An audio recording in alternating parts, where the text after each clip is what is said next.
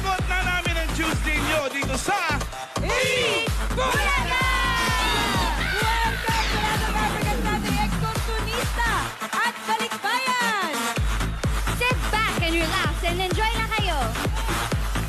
Eto na, ano man ang hanap nyo, meron tayo niyan dito.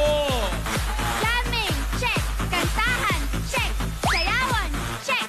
At meron pang showdown na check na! Check!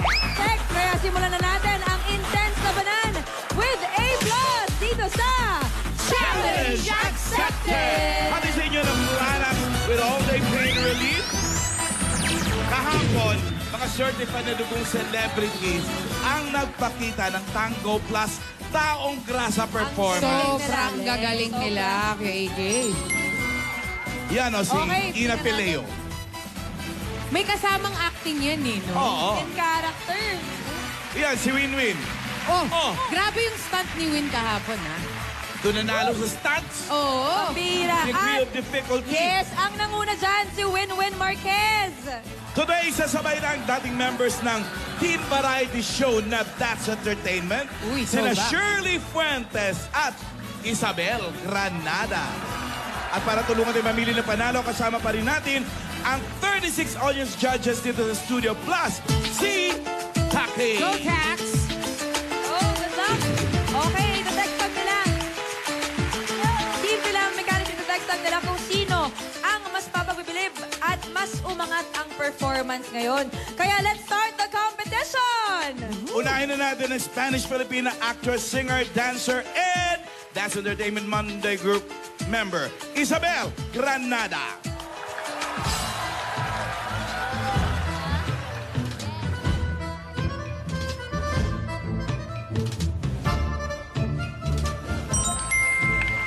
Eto na nga, kasama ko na ngayon mga Dabber Cats, Miss Isabel Granada. Ah, isa sa mga That's Entertainment Stars. So, Monday Group po, no, Miss Isabel? So, ano pong pakiramdam ngayon na taong grasa kayo? Wala lang, parang pareho lang eh. Eh, parang wala pinagkaiba. So, sa, ma- sa Monday Group po ba, during your performances, ah, naging taong grasa na po ba kayo? Actually, this is my very first, kaya dream come true to. Uy. So, anong ano bang meron ngayon? Anong hinanda mo sa mga Dabber Cats, Miss Isabel? Wala masyadong ano eh. Ah, actually, hindi masyadong mahirap gawin to, no? Pero yung feeling lang na malagkit, at saka yung hair ko medyo, di ba, konti lang. Kon- hindi naman masyadong... Hindi, hindi. Okay po yan mga Dabber Cats. Let's give it up for Miss Isabel Granada.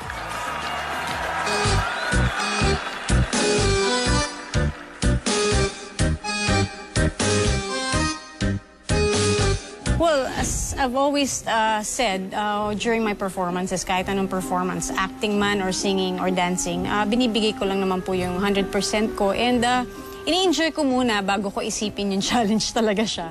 I had a good experience. Uh, hopefully, later, maging uh, maibigay namin yung gusto ng mga manonood sa amin. Hindi naman first time sa akin na magtango, but uh, of course, yung taong grasa. Yun ang first time.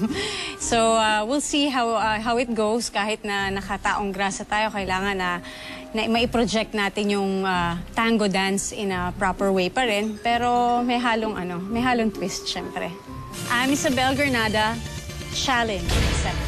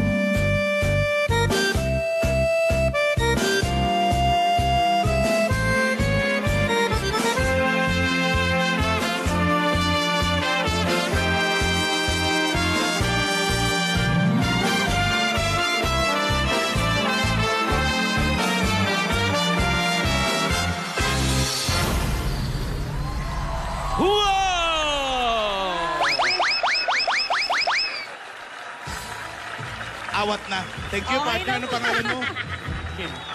Kim. Kim. Thank you, Kim. Isabel, sinungaling ka. Sabi mo, in every performance that you do, you give your 100%. 150 binigay mo eh. Nasobrahan. thank you, thank you very much opportunity na to and uh, thank you, Itbulaga. Ang dami Ang nyo ng ginawa production numbers sa That's Entertainment. Lalo na pag Saturday, di ba? True, and actually, hindi lang kasi yung paggawa yung ah, importante doon. Dumaan din kasi kami doon sa production. Like, we do our own costumes, our own music. So, meron na kami lahat na background doon. Tsaka yung brainstorming. And then Yes. character. Napansin ko, Miss A, hindi biro magtango ng nakapaa. Totoo. Kaya kanina ang ganda ng tindig niya, nakatiptoe pa rin siya habang taong grasa. Thank you very much, Patricia. So, anong pinagkaiba Okay. nito sa mga ginawa mo na dati? Hindi mo na mabilang, I'm sure, yung mga production numbers na ginawa mo sayaw. Eto, nakataong grasa. Actually, ang maganda dito yung partner ko talaga. Magaling magdala ng partner, ah, si Kim. Ah, we we had this ah, chemistry already din dun pa lang sa rehearsals eh. So I guess ah, ang kakaiba, wala masyado kasi knowing that's entertainment, lahat gagawin namin para mapaganda yung isang production number. Kahit kumain ng apoy, gagawin namin. So, yun lang ang kulang. Kahit pala paitimin ka ng gusto, tisay ka pa rin, no? Tisa, mas mabuti pa rin siya sa akin, Miss A.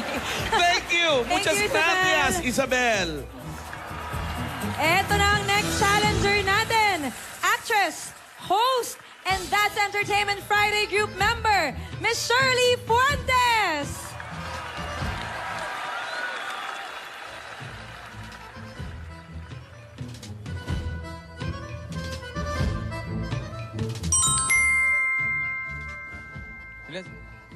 Asan na ba? Asan na si Miss, si Miss Shirley? Asan? Ha? Asan? Ay. Miss Shirley? Kaharap. Tayo na po. Kayo na po yung susunod. Okay. Okay po. Hindi ako, ako yung mga Dapper Cats, hindi ako sanay. First time ko kasing makita tong ah, mga celebrities natin na nakataong grasa. So, coming from that po, Miss Shirley. Aden ka pala. Po? Si Aden ka, di ba? Hindi po. Ayan. So ano pong pakiramdam, Miss Shirley, na first time niyo pong magtaong grasa? Eh, first time ko talaga magtaong grasa. Pero sa That's Entertainment, naging pusa na ako, naging kung ano-ano pang karakter. Pero yung taong grasa ngayon lang. Eh, ano, ano naman po mga ginawa niyong adjustments and ah, ano para mapaganda po yung performance niyo ngayon? Kasi it's very difficult po playing a character at the same time performing a dance routine. Tama, kasi parang pinagsama namin yung acting tapos yung dancing at the same time. Uh, with the help of, of course, yung mga kaibigan namin na taga-speed dancers. Um, si, um, yung partner ko, si Tin, thank you so much. Pero ito po, pinaghandaan po namin siya. Hindi po kami nagpaganda, nagpapangit at nagpadumi kami actually. Okay po, Miss Shirley. Ah, hindi namin pinaghandaan to, walang handa. Up like this lang po ang peg. Tama. Okay. so ito, Miss Shirley, good luck po sa inyo. And mga Dapper Cats, ito na ang dancing na may acting. Here's Miss Shirley Fuentes.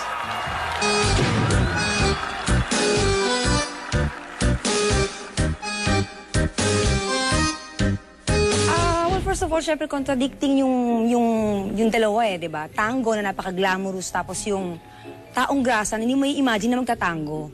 Ay, abangan talaga nila yung performance namin dahil nakakaloka talaga siya. Mga mga nagtatango ng mga naluloka ang mga mapanood ninyo. Tsaka syempre, you don't know what's what's uh, gonna come up next kasi nga ah, at the same time, kailangan alam malalahanin ko na, na taong grasa yung pinuportray namin, na nagtatango siya, na, na bonggang-bongga. Mas marami pa akong tutunan ng mga bago. Um, I'm Shirley Fuentes. Challenge accepted.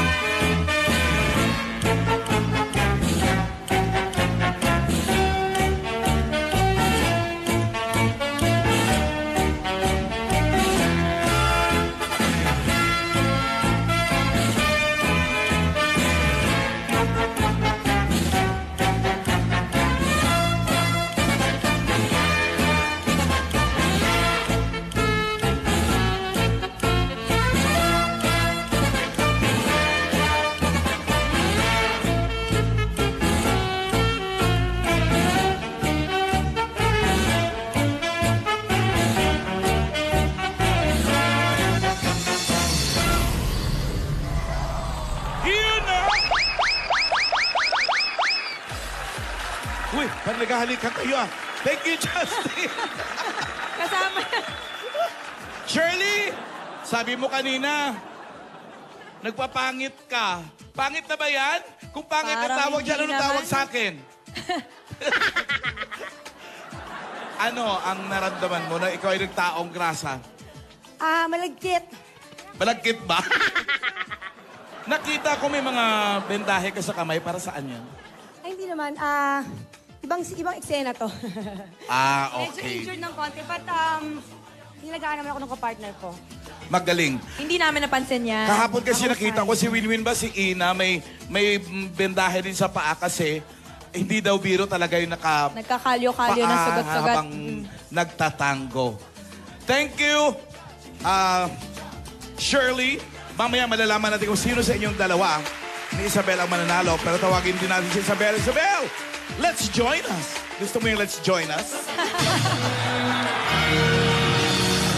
Isabel Candela and Shirley Fuentes.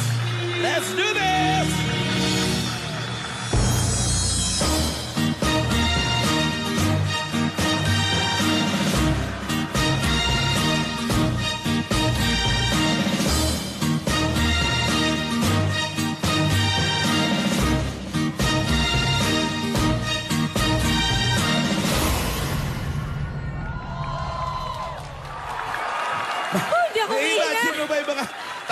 Taong grasa na nagbubuwis buhay? Hindi, hindi. Pero lutang pa rin yung mga ganda nila eh. Nasaan ang hostisya? Oo. Dito Isay kayo. pa rin. 37 judges! Boto na mga Dabber Cats! Text na! At mamaya malalaman natin ang sino mananalo sa inyong dalawa. At bukas abangan natin kung sino ang haharap sa hamon dito sa Challenge accepted! More pang saya at sorpresa sa pagbabalik ng